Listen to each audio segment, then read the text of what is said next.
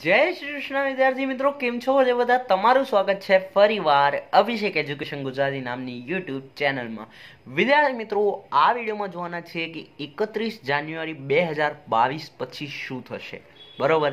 એટલે કે સરકારે તો તમારે એકથી નવ સ્ટાન્ડર્ડને એકત્રીસ જાન્યુઆરી સુધી ઓનલાઈન કીધું છે અને કેટલીક સ્કૂલોએ તો દસથી બારનું પણ બંધ કરીને દીધું છે. કેટલીક નહીં, પરંતુ બહુ બધી સ્કૂલોએ દસથી બારનું એજ્યુકેશન ઓફલાઈન પણ બંધ કરી દીધું હશે. આઈ હોપ તમે પણ ઘરમાં સેફ હશો.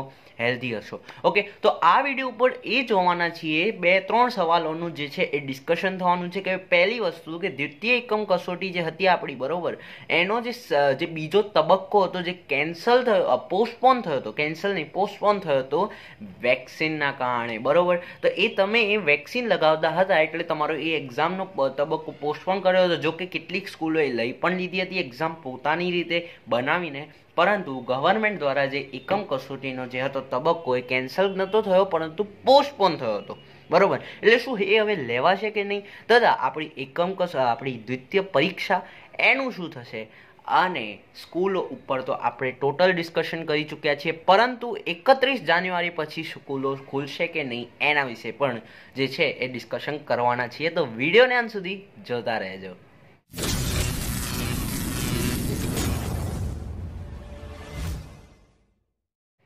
તો વિદ્યાર્થી મિત્રો, સૌથી પહેલાં વાત કરીએ કે દ્વિતીય એકમ કસોટીનો તબક્કો લેવાશે કે નહીં લેવાય?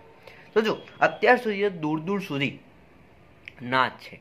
હવે એ એકમ કસોટી ન પણ લેવાય. કારણ કે હવે જો, એકત્રીસ જાન્યુઆરી સુધી તો બધું જ બંધ છે. તમારું, બરોબર? હવે વાત કરીએ દસ ફેબ્રુઆરી તમારી સેકન્ડ એક્ઝામની જે છે એ ડેટ છે. હવે આ ટેન ડેઝની અંદર તમને એકમ કસોટી પણ લેશે, અથવા તમારી એક્ઝામ લેશે. એટલે આ બે સવાલ જે છે એ આપણા મનમાં થતા હોય છે. તો જો, આના ઉપરથી આપણે કહી શકાય કે ભાઈ ટેન ડેઝની અંદર કોઈનો પણ સિલેબસ પતી નહીં જાય. એકત્રીસ જાન્યુઆરી સુધી ઓનલાઈન છે, તો મે બી તમારી જે એક્ઝામ છે સેકન્ડ એક્ઝામ એ પોસ્ટપોન પણ થઈ શકે. ટેન્થ અને ટ્વેલ્થવાળાને તો ટેન્શન લેવાની જરૂરત નથી, એ તો માર્ચમાં જ છે એન્ડ પણ. માર્ચની એન્ડિંગમાં છે. પરંતુ જે સેકન્ડ એક્ઝામની જો હું વાત કરું ઇલેવન્થ અને નાઇન્થવાળા માટે, તો આ ટેન ડેઝના ગેપમાં એક્ઝામ લેવાની ખૂબ જ મુશ્કેલ સાબિત થઈ શકે છે. કારણ કે કેટલીય સ્કૂલોના સિલેબસ હજી સુધી પૂરા થયા નથી ઇલેવન્થના ઓકે? તો મે બી એવું થઈ શકે કે તમારી એક્ઝામ પોસ્ટપોન થઈ શકે, અથવા તો તમારા જે શિક્ષક, જેમ કે આપણા ફર્સ્ટ એક્ઝામમાં આવ્યું હતું કે તમારી સ્કૂલોના શિક્ષક પણ પેપર કાઢી શકે છે. ઓકે મે બી એવું થઈ શકે કે જેમને જેટલો સિલેબસ પૂરો થયો હોય, એટલા સિલેબસની એ એક્ઝામ જે છે એ લઈ શકે છે ટેન ફેબ્રુઆરીએ. પરંતુ મોસ્ટ ઓફ ચાન્સીસ એવા દેખાય છે કે ભાઈ એક્ઝામ જે છે સેકન્ડ એક્ઝામ એ પોસ્ટપોન થશે. બરાબર છે. અને એકત્રીસ જાન્યુઆરી પછી જે સ્કૂલોના શું હાલ થશે, તો મેં આમના ઉપર ડિટેલ વીડિયો બનાવેલ છે. અને તમને અત્યારે સેકન્ડ એક્ઝામ માટે શું કરવાનું છે, એનો પણ ડિટેલ વીડિયો મેં બનાવી દીધો છે. એની લિંક હું તમને નીચે ડિસ્ક્રિપ્શનમાં આપીશ, અથવા તો આપણો લેટેસ્ટ વીડિયો છે, તમે ચેનલમાં જઈને જોઈ શકો છો. બરાબર છે? તો એના વિશે, સ્કૂલો વિશે જે છે, આખું ડિટેલમાં મેં તમને એમાં સમજાવ્યું.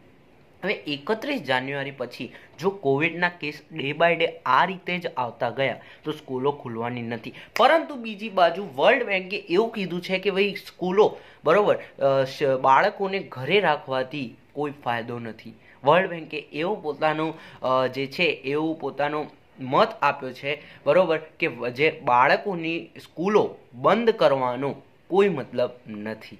તો મે બી તમારી સ્કૂલો ઓપન પણ થઈ શકે છે થર્ટી ફર્સ્ટ જાન્યુઆરી પછી. પરંતુ સરકાર જે છે, જો કોવિડના કેસ આને આ રીતે આવતા રહ્યા, તો સરકાર ગવર્મેન્ટ આપણી ખૂબ જ સારી છે કે તમને જે છે એ જોખમમાં નહીં મૂકે, એટલે બી સેફ અને ટેન્શન મુક્ત રહો. બરાબર છે? તો વિદ્યાર્થી મિત્રો, આ હતું આપણું ટોટલ સેકન્ડ એક્ઝામ દ્વિતીય એકમ કસોટીનો તબક્કો એન્ડ થર્ડ સ્કૂલો વિશેનું ડિસ્કશન જો તમને આ વીડિયો પસંદ આવે તો લાઇક શેર સબસ્ક્રાઈબ તમારી તૈયારી જે છે એ લર્નિંગ તમને, જો તમે એ પહેલાંનો જે ડિસ્ક્રિપ્શનમાં હું તમને વીડિયો આપીશ, એ તમે જોશો, તો તમને તૈયારી માટેનો પણ પ્લાન તમને ખબર પડી જશે કે તમને શું કરવાનું છે. ઓકે તો વિદ્યાર્થી મિત્રો, આ વિડીયોમાં રાખીએ આટલું. જો તમને આ વીડિયો પસંદ આવે તો like share subscribe the channel મળીએ નેક્સ્ટ નવા વિડીયોમાં ત્યાં સુધી જય શ્રી કૃષ્ણ.